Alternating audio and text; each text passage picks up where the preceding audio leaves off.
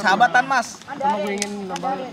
biar bisa gabung sama teman-teman biar bisa lebih banyak kenal Eh, penasaran? Ingin tahu dong. Kepo. Aku ikut FK karena dapat tugas ya Pak Munici. Gara-gara ikut teman. Cari pengalaman, cari banyak kenalan, dan cari kesenangan. Untuk membangun jaringan. FKA pasti seru. Ikut FKA untuk menambah pengetahuan dan pengalaman kita. FKA jos. pengen cari pengalaman terus memang pengen tahu FK itu apa. Arsitek FKA untuk siapa? Ya ya ya. Buat semua